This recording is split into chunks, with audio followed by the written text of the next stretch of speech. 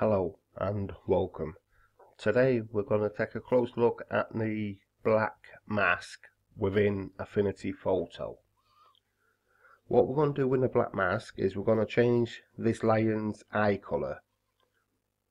I found this image online on a Google search that is up for people to reuse it. Well that getting said, we'll get straight into it. The first thing we need to do to show you how the black mask works is to lighten the photo up. And well out we can do that by clicking on adjustments and going to curves. When we click on the line and drag it up it puts the light into your photo. It is really high right now but for now that will do.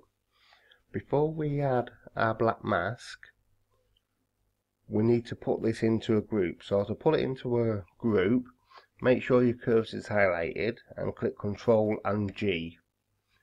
That will put it into its own group.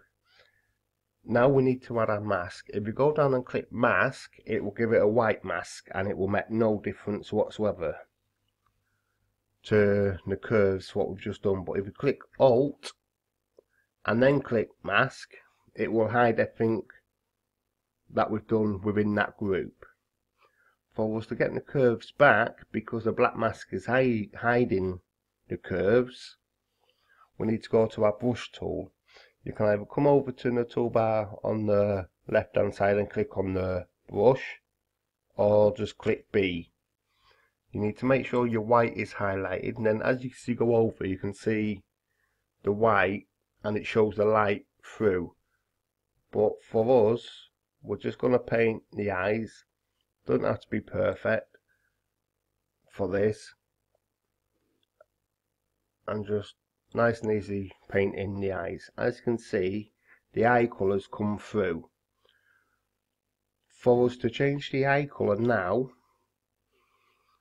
we need to come back onto the adjustments and click the hue settings the HSL and we can do that by dragging the hue up. But as you can see when we drag it up it changes the whole photo. The reason why because it set it outside of our folder. So the mask isn't affecting the hue settings. So what we need to do is drag that in and just put it underneath the mask. And now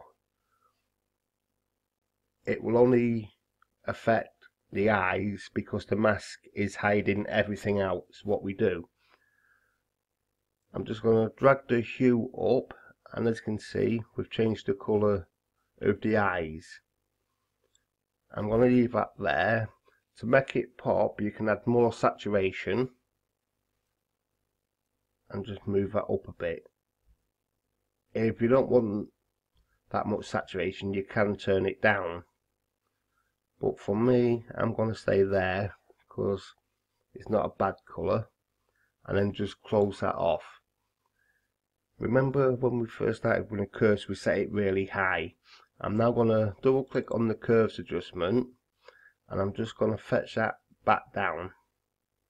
So it makes the eyes a little bit darker and close that off. Because we use the black mask it's hid everything we've done and it's just showing the eyes. So everything we do within the group will just affect the eyes because we painted white to show through the black mask. And pretty much that's all a black mask does. It hides everything. Like with the white it reveals black it hides. And that's the same with the masks the white mask and the black mask this one was only from the black mask. I probably will do a video later on covering the whole range of masks, a more in-depth look. But for now, I'm going to leave it here. Thank you for watching. If you did like this video and it helped you, please subscribe and give it a thumbs up. And thank you for watching and I hope to see, see you next time.